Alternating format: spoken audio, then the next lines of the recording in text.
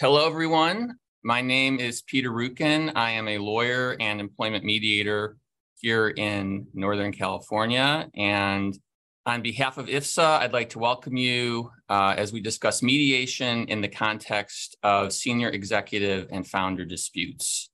So, our goal today is to share insights about mediation from several jurisdictions. And while our focus is going to be on executive and founder disputes, we will also, by necessity, discuss some foundational mediation concepts and viewpoints of general application that would apply in, in other types of disputes, particularly other types of employment disputes. So, with that said, uh, let me introduce our distinguished panelists. Ian Mill is a leading barrister and King's Counsel who has handled numerous high profile disputes in the UK and internationally during the course of his 40 year career. Among many accolades, Ian has been ranked to Chamber UK's top Silk Bar 100. He has variously been described as a fearsome advocate, an excellent strategist, and a leader in his field who brings a huge amount of knowledge and pragmatism to the table. Ian is also most relevant for our purposes, a CEDR accredited mediator with a particular focus on complex commercial and high value employment matters. We're also joined by Jane Mulcahy, a distinguished silk in the areas of employment and sports law. Jane is currently co-head of Blackstone Chambers and head of its employment group, where she deals with complex and high profile litigation around employee compensation, whistleblowing, and discrimination. Chambers and Legal 500 sing Jane's praises, describing her as brilliant with clients, incisive, and a first class advocate who is highly effective and razor sharp on the facts. Jane is also a fellow of the Chartered Institute of Arbitrators and a CEDR accredited mediator. Also joining us from London is Yulia Fedorenko, a solicitor with CM Murray, Yulia advises both employers and senior executives on a wide variety of employment matters, including statutory claims and negotiated exits. Yulia also has experience with employment tribunal disputes and alternative dispute resolution, including both private and judicial mediation.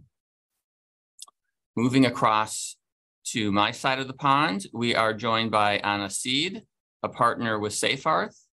Although Ana is currently situated in New York, she is a Spanish qualified attorney who focuses on international employment legal matters around the world, mainly in Europe and Latin America.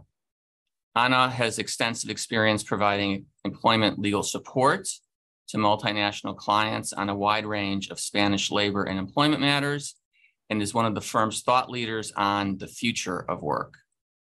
Ana is ranked in the labor and employment law category for Spain and best lawyers. Chambers calls her an excellent lawyer who is helpful, technically strong, thorough, and responsive. Finally, back in my home state of California, we are joined by Lynne Hermle, an employment partner with Orrick based in Silicon Valley.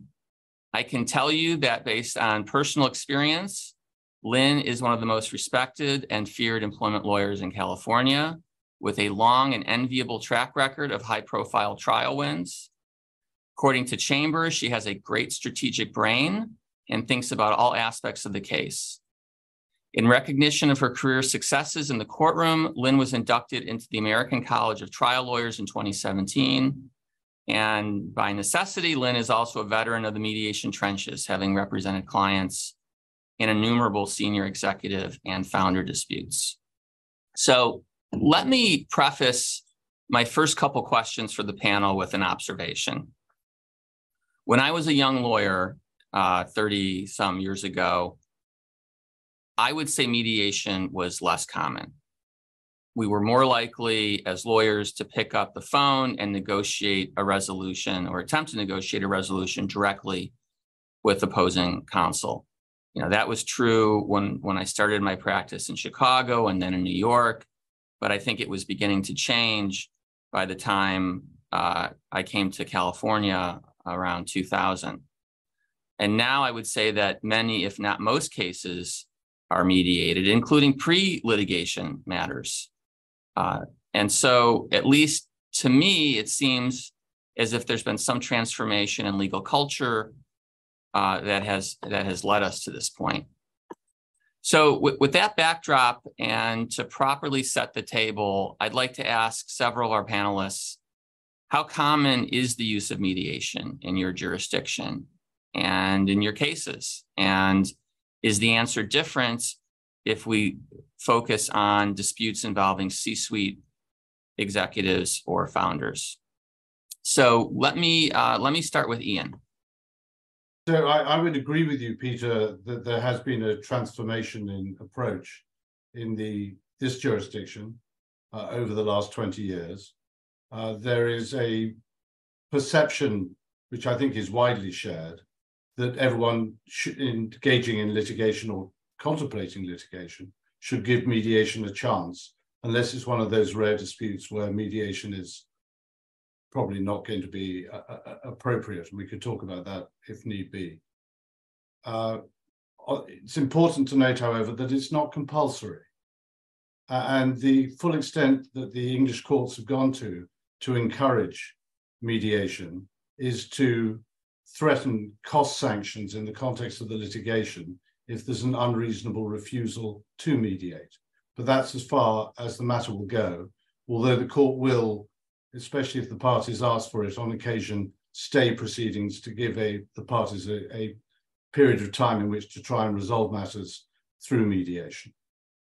And my personal experience is the same as that which I've described as being generally the case. So I would say that every case I can think of, pretty much in the last 10 years at least, uh, there has been some attempt either before proceedings have started or during the course of proceedings to settle through uh, a process of mediation, not always successfully, of course. Got it. Yeah. So, so Lynne, I, am curious what your perspective is. Uh, you know, practicing in California, I, I don't know if you have the same reaction as I do, or or different experience. I agree with you, although my experience starts about 10 years before yours, when I would say mediation was very unusual. And there was perhaps only one respected mediation office in California that we all used. And in my practice, which is about 70% high stakes individual cases, 30% complex class actions, it's extraordinarily common. I would say that unlike Ian's experience, um, unlike what happens uh, in England, Britain generally, to my understanding, it is often mandatory. And the California courts, both the state courts and the federal courts, will typically insist that the parties go through one form or another of ADR, alternative dispute resolution and of course, the favored practice is mediation because some of the others, while useful in some cases, are typically not as productive. Settlement negotiations with the court, something the federal court out here calls early neutral uh, evaluation.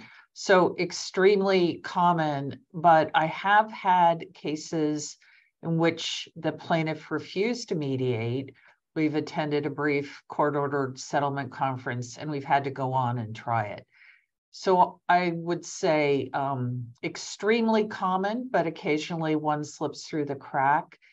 With respect to founder disputes, I would say I've never had one that didn't mediate because of the high state stakes nature of the the money involved, the publicity issues, the emotions um, it's typically always the case in my experience that the high level founders disputes do mediate.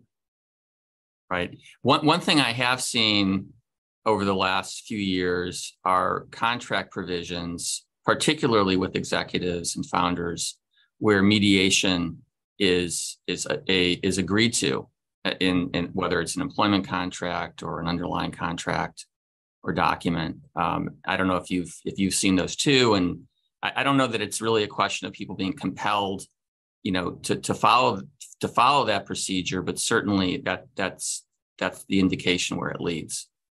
Yeah, I agree. And, and it's in two major buckets that it's starting to emerge, both in the hiring agreement documents and maybe more important in the settlement documents. I'm a big advocate for arbitration of disputes arising from the severance or settlement agreements. And hand in hand with that, many times is we will mediate formally or informally before we go through arbitration or in some cases the court process to resolve those disputes.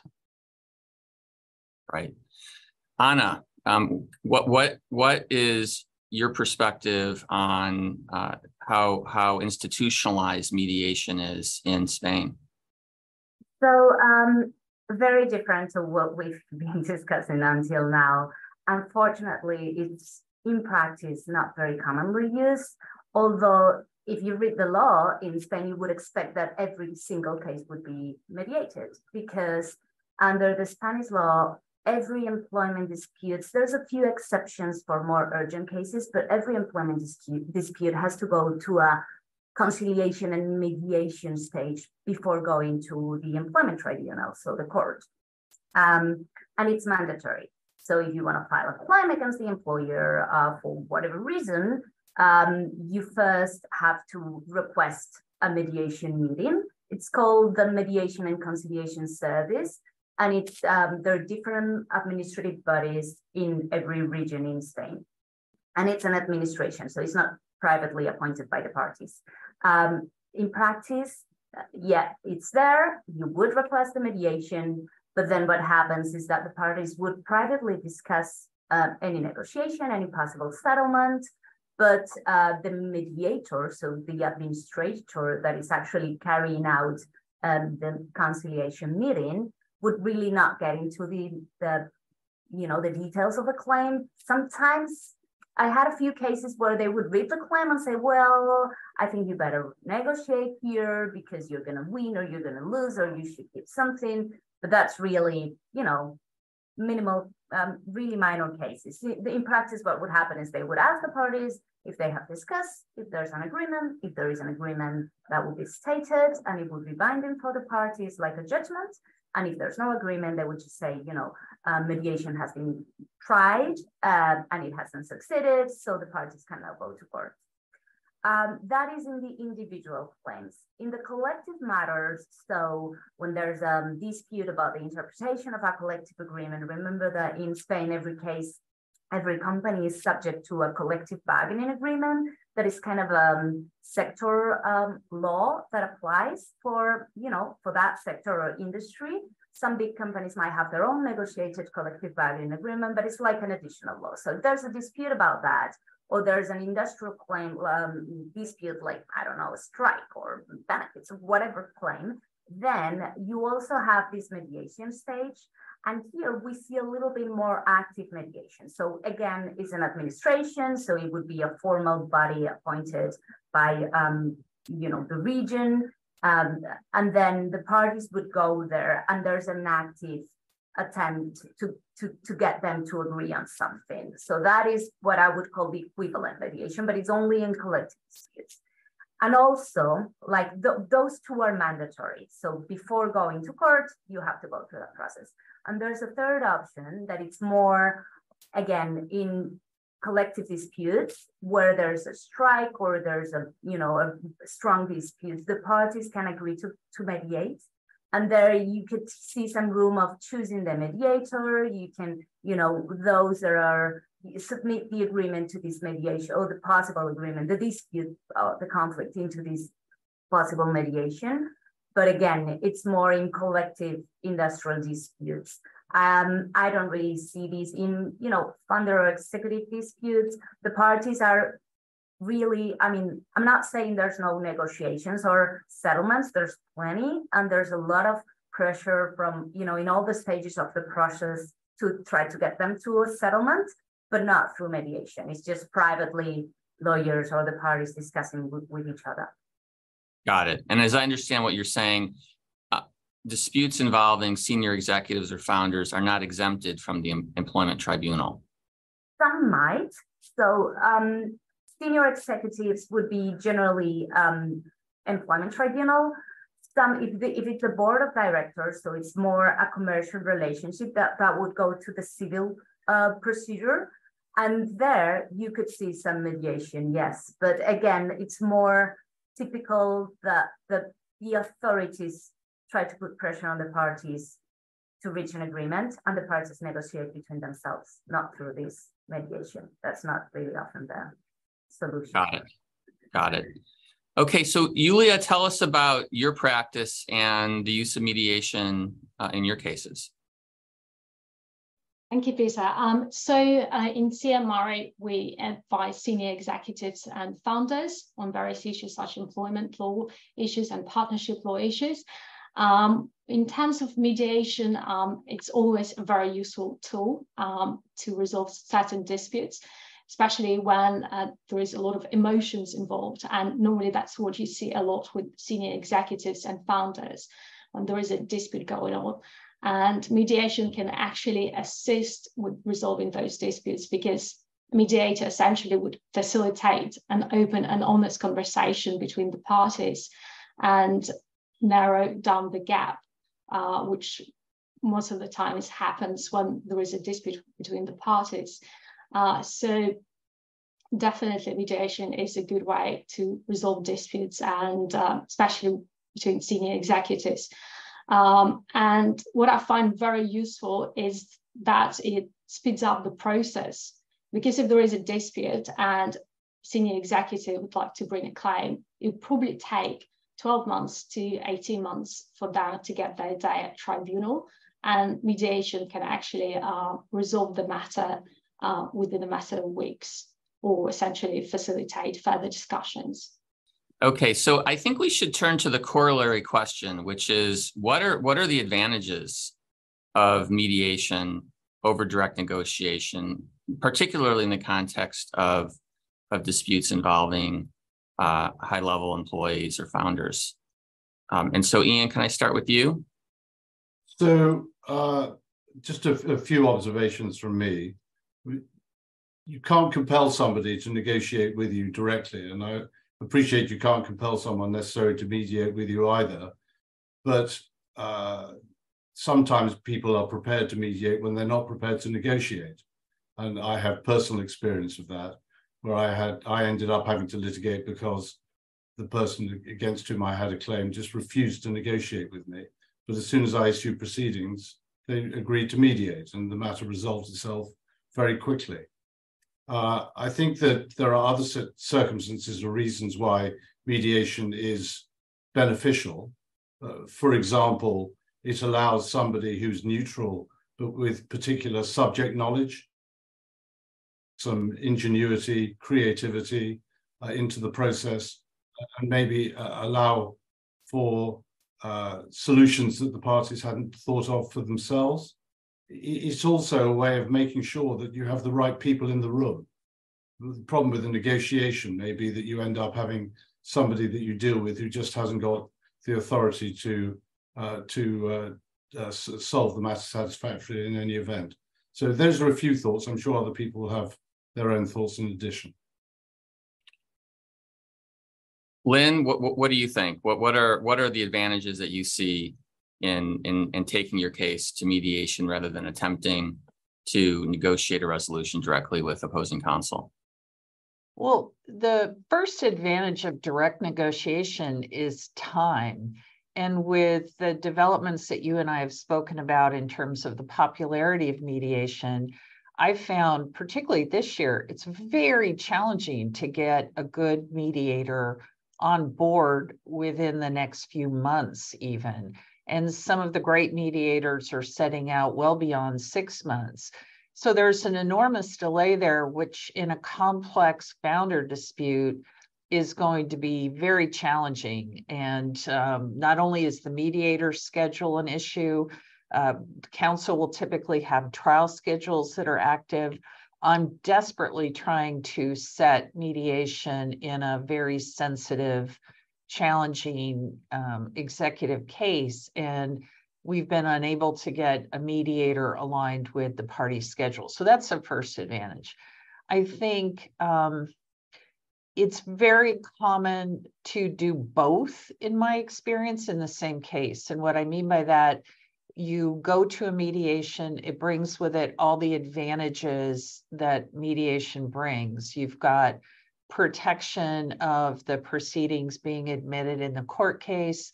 You've got a third party who ideally is empathetic and able to um, bring down the temperature of the dispute. You've got the various other advantages, but it is time consuming and very expensive often. I recently um, selected a mediator after kind of a challenging back and forth. And then we got his initial bill for $25,000 for the day. And my opponent said, absolutely not. And I think he was right because it was a case that was going to take some amount of time and the bill would have been more than we were, the lawyers were charging their clients. So um, I think the real advantage that mediation brings that direct doesn't is the ability to have an ideally sensitive and empathetic person have the founder here, uh, have the founder um, spew or discuss or resolve a lot of the emotional issues through the process. And as we all know, some of these um, challenging founder disputes do require the resolution of the emotional issues that are all tangled up with the financial issues. So advantages on both sides, but I think personally it's hard to settle a founder dispute with direct negotiation unless the parties are really ready, willing, and able to move on, which they often aren't. Yeah, no, that makes a lot of sense. And I think Ian, Ian had mentioned having people with authority present, decision makers present. And then kind of the, the flip side of that is having is being able to create a direct dialogue with with the principals at a mediation and instead of the communications being filtered yeah. through through counsel so that that that is also an advantage. That that is a huge advantage because there are some lawyers who are not as adept as others at advising their clients in the downside of litigation. And most mediators are very effective at doing that and they're very effective at transmitting the ammunition that you've given them in your mediation brief. I agree. Yeah. yeah. So, Yulia, what's what's your perspective on uh, the advantages of mediation over picking up the phone and and working out the issues with opposing counsel directly? Um, well, sometimes with direct negotiations, a party can be at an impasse and no one is ready to compromise. So that's when it's really important to involve a third party who can actually facilitate the discussion and um, explain to the parties uh, or potentially just uh, help them to see what is the best way forward. But of course, sometimes direct negotiations can be uh, really fast and efficient but again, when emotions are involved, uh, I think mediation is the best way forward. Because also during mediation, um, parties will have actually an opportunity to read out their statement to explain how they feel, which sometimes is really important to them. Um, not just when their messages are being communicated through their solicitors. So mediation can really give them that opportunity and give them the closure. Yep, Okay, so I am curious. Uh, we've been talking about about the the ubiquitousness of mediation. I'm curious about mediation styles and what is what does mediation look like in your jurisdiction? You know, we often talk about mediator styles along a continuum from evaluative on on one end to facilitative on the other, and then there's there's also transformational mediation, which is not I don't think is really a thing in in employment law, but um, you know, with, eh, eh, with with evaluative mediators, we're talking about someone, you know, in my world, it's like the retired judge who basically pounds the table, says, "Here's what you're going to pay. Here's what's going to happen in the case. If this goes to trial, you're gonna you're gonna lose, and this is what you got to pay, or you're going to win, and this is what I'm going to get you, right? And and here's and here's what's wrong with your case and what's right with your case." And then facilitative you know, at the extreme end is there's no opinion really offered. It's just, it's just facilitating the discussion, carrying information back and forth, discussing discussing scenarios, but not not putting a not not having the mediator put a thumb on their scales on the scale. So I'm curious, um, what what do you typically see as a mediation style? Um, and Lynne, I'll, I'll start with you. I I think there is little advantage to a mediator who is simply um, facilitative.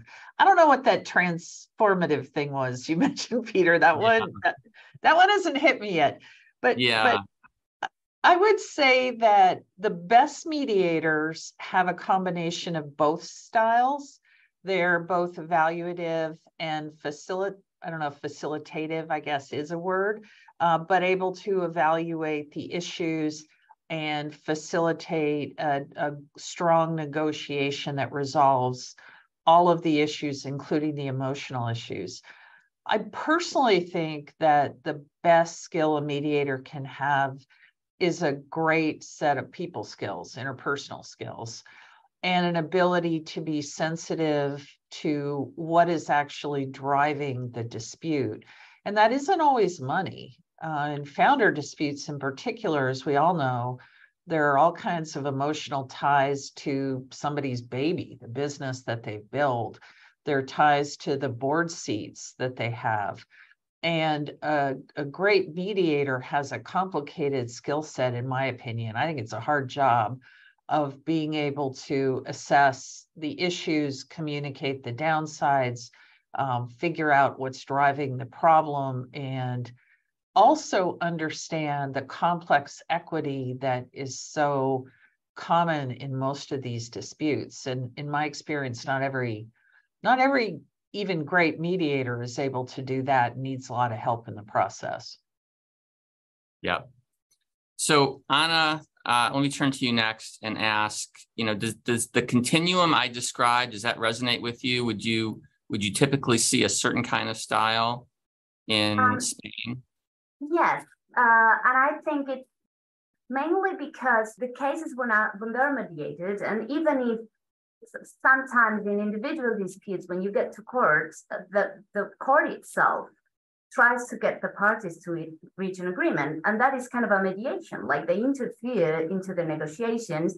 And, and that is more uh, evaluation. So, like here's the case and these are your risks and these are your risks so why don't you get them settled because you both can win or can lose like you have your strengths and you have your weakness so that's more how generally this is presented and in the you know the more formal negotiations that's also the case look like an initial evaluation and these are the facts and and how we see it and this is the outcome that you would find if you go to court uh, but then, you know, typically the dispute is there because there's risk for both parties. So both parties think that, that they could win. Um, and then when we get to more facilitation of why don't you get to a middle point? Why don't you give something and you give something and then you both are happy with the result? Like someone, both parties have to win and both parties have to lose because, you know, if one party only wins, then, then where's the point? So, so I think we we normally see that process, and I had examples of cases where it's merely facilitation and it just didn't work because you know the parties were like, yeah, but I think I can win, so why would I give anything, right? So, so I think in Spain it's really difficult to go to mere facilitation without first evaluating and saying, yeah, of course you have a case, but what about this this and this right? These are your weakness. So so that you really believe there's a point in mediating and, and eventually settling rather than you know just taking the risk and going to court. Yeah so so ian when we when we were preparing for the webinar you you had a pretty visceral reaction to what i would call the strong evaluative approach in mediation and that it sounded like that was not something you would typically see in the uk it, it, it absolutely isn't. Uh, what I have seen as a party to a mediation, uh, and I have been persuaded to participate in mediations uh, from time to time by clients, uh, typically is purely or largely facilitative.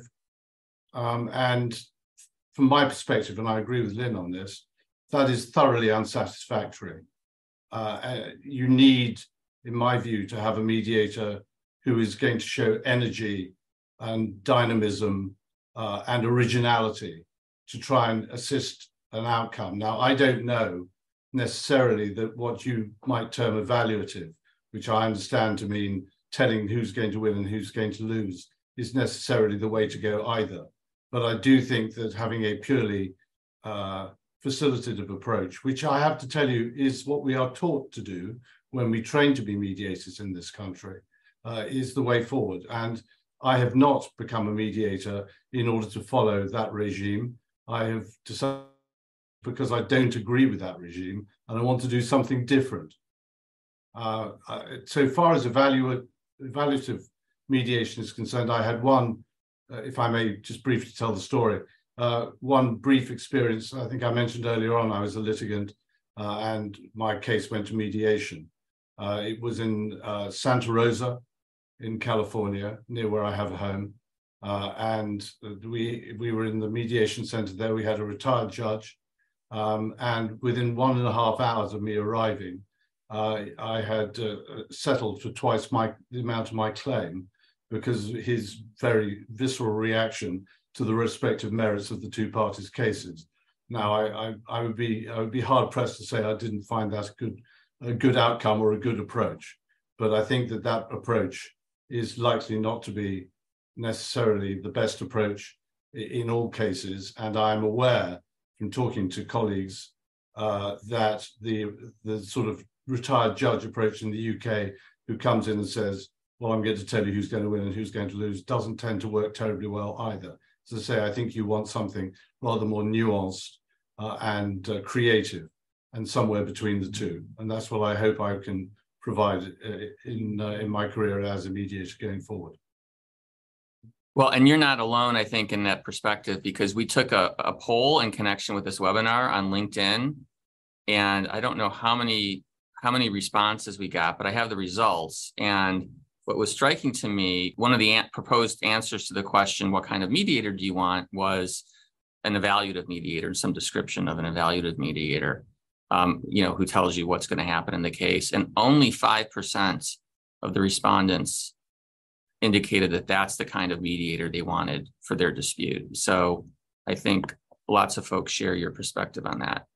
But just to respond briefly to Ian's comment, in my experience, a mediator doesn't say one side's going to win and one side's going to lose. They tell both sides they're going to lose. And then, you know, you, you do your best to persuade the mediator to get a resolution that's more in line with how you view the case. So everybody's a loser according to a great mediator. Yeah, that's true according to a great mediator, but there there are mediators who who may be, you know, may have differing levels of effectiveness who and again it's it's retired judges I've seen this with who, yeah. who actually will really pound one side rather than the other and and I you know I don't think that's that's the way to go. Certainly what happened in my case. I yes. was yeah. no illusion that I was going to win the case. And the only question was how what the size of the punitive damages was going to be, which I found thoroughly entertaining as an English lawyer who for whom punitive damages is not something that we typically talk about. Yeah. So let's let's talk a little bit about mediation outcomes. Um, one of the oft-touted benefits of mediation is that it allows, and we've we've mentioned this, it allows for creative solutions that a court or tribunal can't order. And so I'm curious whether there are certain resolutions that you've reached in executive or founder disputes that fall into that bucket. And Jane, I'd like to, to pose that question to you first. Thanks, Peter. I mean, I, I also saw the poll and saw that the most popular outcome was that a creative mediator who identifies grounds for resolution that parties did not envision. envision. So creativity is obviously very important for everybody. I do think you can, in employment situations particularly, and founder disputes, use mediation to get things you simply can't get in court, which mostly is obviously damages or some sort of declaration. And we're not here talking about injunctions and things. Um, and so, in that sort of, in some ways, quite a personal relationship, there are all sorts of things that can be sorted out, which you can't get from a tribunal which you might have in the UK or by a court. I mean, obviously, there quite commonly are apologies, heartfelt or not, um, references agreed, whereas most employers in uh, in the UK only give the briefest reference these days. Obviously, mediations can achieve more. Um, I had one particular case quite early on in my mediation career where what really the individual wanted was to report as a manager to an entirely different person because they couldn't stand their current manager. And I thought that was going to go absolutely nowhere. So it was more of a workplace mediation. There hadn't yet been a break in the relationship. And when I went into the other room to discuss it, I became very quickly aware that they weren't remotely surprised and probably thought that was a very good idea. So that's something you could probably obviously never have got in a courtroom. And in whistleblowing and harassment situations, which we come across frequently. Sometimes people say and actually mean, not all of them, sometimes they say they want something, but really they just want the money and they forget along the way. But sometimes they do say, look, what I really want is this employment relationship for other people to be different from the one that I have had. And I have had in recent times an employer say, okay, well, you know, we will adopt a policy in this respect and we will incorporate this, or um, we will institute a way of investigating um, things going forward, which are not the experience that you've had, as a being, if you like, an add on or addition to also, no doubt, some money settlement. And so those sorts of things you really can't get through a court. Yep, I agree.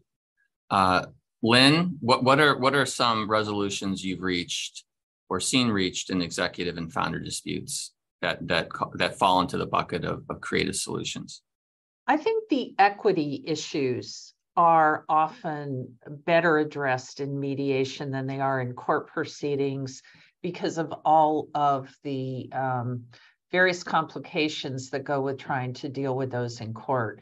Acceleration of equity and additional potential grants of equity, which the board can do to resolve a dispute, is a big one.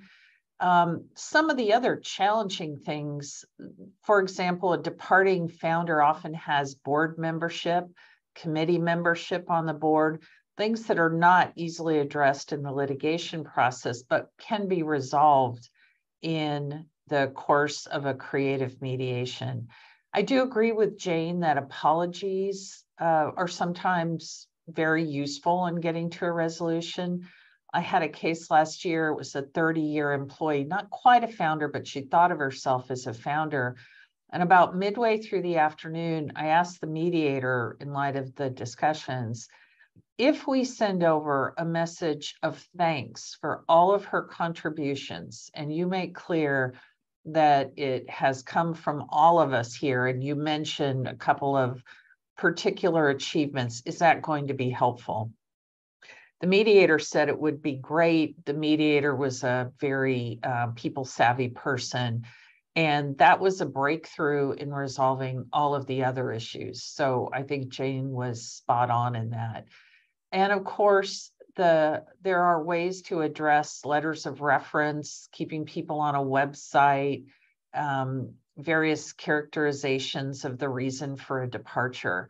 And all of those things, I think, assuming counselor creative can actually help lower the amount of money at issue.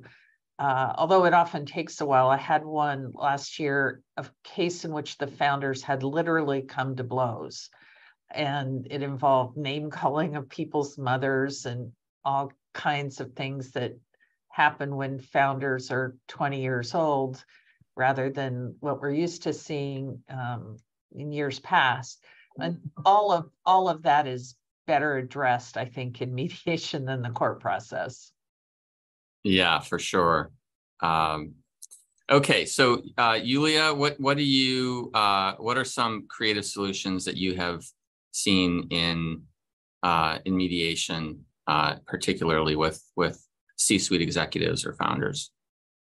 Uh, yes, absolutely. Um, I actually had a very similar experience to Jane. Uh, so um, our, I was advising client on sexual harassment, and part of her complaint was uh, the way organization treated her complaint, and she was not happy with the policy. And it's part of mediation, uh, which also included a financial settlement. She was allowed to uh, review the policy and comment on particular parts of it, which um, afterwards resulted in the review of the policy. So she made a difference um, by, by doing that and actually also helped the settlement. So I think that is also the beauty of mediation because it offers these unique solutions that uh, courts and tribunals do not. Yeah, and I think I think all three of you are exactly right about the utility of having these non-monetary solutions uh, to the to the dispute. And there's always the strategic question of when you know when do you raise those? When when do those get surfaced in the mediation? But having having that on your list of of of offerings to make uh, or requests to make, uh, I think is is is very smart. Okay, so another driver of a successful mediation is the choice of a mediator. And we've talked a little bit about, about mediation styles and effective mediators. Um, but, but let me ask, how do you decide when to retain a mediator? And then what other traits are you looking for in a mediator, particularly in the context of a dispute involving high-level company actors? And Jane, let me let me turn to you first. Well, I think when, I think you were saying, Peter, and I think Lynne was saying also, I mean, I think the sooner that you sooner you can, be perfectly honest, if there feels like a right time, then then give it a go. You can always do it again if you don't get it right first time. Um, although perhaps not at twenty five thousand dollars a day, Lynne, we're not quite that rate in the UK. Um, but if you can do it, I mean, the good thing to do is I think references for our recommendations of mediators are very helpful. Um, obviously, any um, organizations which are reputable and those sorts of things. I mean, what you really want, as we all, as we all, as are saying, really, is someone creative. And I, I don't think facilitative is actually just is just flopping around doing not very much. I think facilitative is trying to help people get to a settlement, whatever that takes. And I think sometimes that can be waiting a little while and then asking a very hard question, if you like. So, um, you know, yeah, that sounds great, but what about this? So I think someone recognize the creativity. I think it does help if someone is knowledgeable about the area. I don't necessarily mean the tech world or something. I mean the employment scene uh, and and the things that matter. I think you should expect someone who's done their homework. I think people should have read the papers and they should understand the context. And I think a really important thing is what Ian referred to earlier, which is energy. I think you really want someone who isn't going to flag and continues to try and apply their brain to some something that just pops up that might work, whether it's an apology or a change to a policy or or an understanding that actually someone in one room just wants to talk to somebody in another room in order to bring a relationship to an end in a way that's effective and helpful if you can at least organize that. So I think all of those things and flexibility, that's what you're looking for. Um, and you may have to sometimes find that trial and error, I suppose. Yeah. So, so Lynne or Ian, any any other characteristics that you that we haven't discussed already that you are looking for in a in a mediator? Uh, just an observation, not so much about that, but about the practicalities of appointing a mediator, certainly in this jurisdiction, is that frustratingly, uh, when one party promote, proposes a mediator, there are uh, numerous occasions on which the other party will deliberately say no because it's the other party's choice of mediator, however suitable the person is. Now, I have no idea whether that is something which you mm. find in, in the in the US, Lynne, but it, it's been a matter of tremendous frustration to me in the past because you can you can know someone who is absolutely ideally suited objectively because of their character, because of their mm. knowledge, because of their their dynamism, energy, and so on uh, and you just get frustrated because you can't impose your own choice of mediator mm-hmm. uh, on, on the on the dispute. I find that inevitable but very frustrating. Yeah, it's an interesting strategic point. My practice, verging away from um, high stakes founder disputes for one minute, is typically to ask the other side who they want and who they think would be good with their client because at the end of the day i don't think my client and i really need an evaluative mediator uh, we need a facilitative mediator and we want a mediator the other side's going to listen to i i don't really need to listen to the mediator i've spent a lot of time and energy and tried to get my clients to the right settlement position. So I want a mediator the other side's going to listen to, unless they suggest an unsuitable mediator.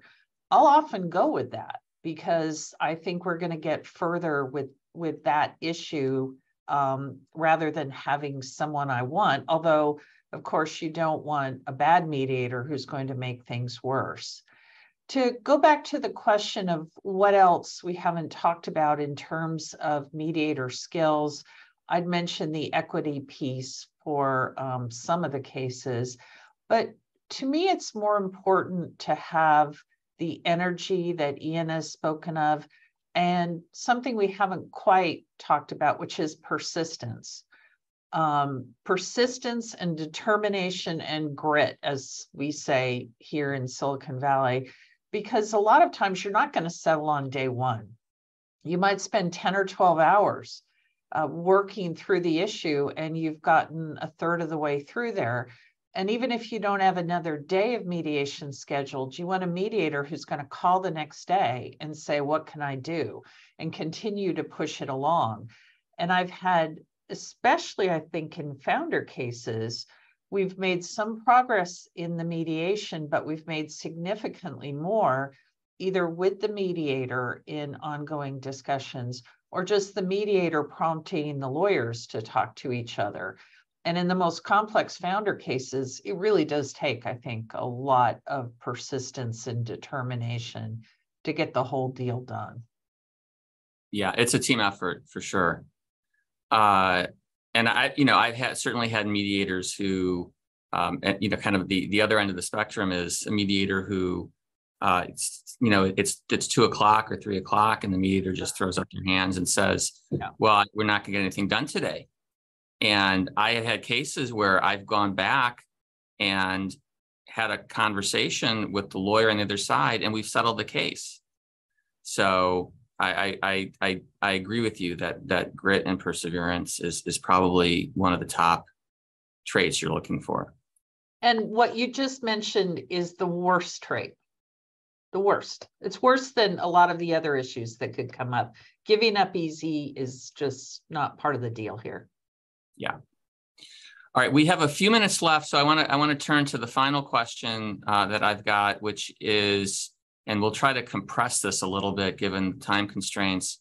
Uh, best practices in preparing and conducting the mediation. So now we're you know we're on game day and we're in the mediation itself and so some of the some of the issues we identified, and I'm, I'm just going to read them out, and, and then I'm going to ask uh, Jane Lynne and Ana to just weigh in on on any of these that you think uh, you have you have a comment about or perspective on. And so there are questions surrounding whether to share mediation briefs, or in the UK, I, I think they're called position statements with the other side, use of joint sessions uh, versus private caucuses, how you address confidentiality in caucuses, the role of insurance carriers in mediation, um, how contingency fee dynamics play into negotiations, and whether you draft, whether you circulate draft agreements with obviously with, with the monetary terms omitted before the mediation or during the mediation. So Jane, let me start with you. And if there are any uh, of, of those issues that you'd like to weigh in on, please go ahead. Um, just very briefly on confidentiality, make sources, as in everyone knows what the rules are. And normally in the UK, it's confidential between the parties, and you don't pass anything on without permission as the mediator. So that's how it normally works. But my real bugbear on mediating is the things that pop up, which are things like insurance and um, and contingency fees. And it really would help a great deal, I think, if you're mediating and if you're a party, even if you don't tell the other side, to early on uh, confess about the blockers, if you like because you can get to a point where a client might say, yeah, okay, I can take that. And I've had one recently, but the solicitor is still saying, well, that's really nice of you to decide to reduce your expectations. But I'm afraid if you settle, that's a success in your um, agreement with us, and you still have to pay us gazillions of pounds. And that really isn't helpful. So if you can try and flush those out early and start beating people around the head um, quicker rather than slower, then that, that I think helps. Got it. And and Lynne, any any of the issues I identified uh, speak to you? Yeah, I agree with Jane, especially on insurance. You really do have to start that very early in the process because an insurer can uh, dispute whether a mediation should occur, refuse to participate. I, I think another practice that I've recently started doing more and more frequently is trying to speak to the mediator before the mediation and just let him or her know here are some of the sensitivities here. Please don't push my client on this point. Please understand the insurance dispute that exists and how you can help us. And a fair amount of advance notice, if you could get the mediator to speak with you and potentially with your client if helpful, often goes a long way into smoothing the path towards a resolution, in my opinion. Ana, one, one thing I'm curious about is is the use of caucuses in Spain in mediation versus joint sessions, and I'm, I'm just wondering how how common it is to have to, to spend time in a in a joint conference where all parties and counsel are present, or is most of the time spent in private caucuses? Um, so normally it's all joint sessions, but yeah, the splitting the parties and having separate, like more private discussions is always a way to kind of get honest feedback and actually get to the you know what's the background here? What what's the, the what's behind it? And and get to the more level of of detail in the dispute that normally in the joint session with the other party in front you don't you don't say or you don't want to say because most of the times in these cases the, the parties are always saving you know, some things in case we end up in litigation. So we, I don't want to disclose everything. So having these more private discussions with the mediator are, are always a good way to get to the, you know, bottom line of what, what the party's interests and priorities are without disclosing it to the other party. Got it. So I think that's a good place to pause and and see if we have and there there are a number of comments in the chat which I can read, but I first want to go to uh, the, the, audience and see if there's anyone who has any questions. And so if you can raise your hand virtually, actually, whatever the case may be, if you have any questions, um, we're happy to, to, to, take those. Okay, so I'm gonna just, I'm just gonna read a couple comments. Uh, and this is from Anthony Sendall, senior executive and founder disputes are very commonly fueled by complex emotional and other factors rather than money, a mediator who approaches such a dispute from a perspective of carving up the pie rather than seeking a resolution of the real underlying issues is unlikely to be successful. Yeah, and I think that's kind of the the the you know the, the problem with with uh, zero sum negotiations where it's just dollars moving back and forth. You're not kind of conceiving of the emotional content and the people um, that are involved uh, in the dispute. Uh, and Malcolm McNeil uh, agreed to that. Also, it may break the ice to immediately look at the things that would not be available to the parties in arbitration litigation that will bring out underlying emotional or other issues. I've done that successfully as, as later I can return to those issues and put value on them and to bridge the gap.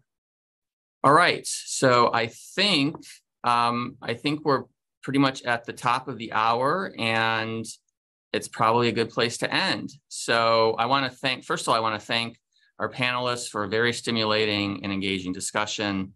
Uh, and also I want to extend a special thank you to Clare Murray and her firm uh, for hosting us. It was, it was a real pleasure. Um, and then before we go, I want to let folks know that the next IFSEA event on September 19th is in the calendar. So it's advising clients in the media glare in-person event, September 19th, 6 p.m. to 7.15 p.m. And it's at Fox Williams, 10 Finsbury Square, London. I would I would love to go. I'm I'm actually, you know what? I'm actually in Glasgow uh, on on on the 19th, taking my son to the start of his program at the Royal Conservatoire of Scotland. Um, so, but I, so I, but I'll be there and not in London. But it sounds like a great program. Okay, I think I think that takes care of it. Thank you so much, everyone. It was, it was wonderful. Thank you. Thank you Take care.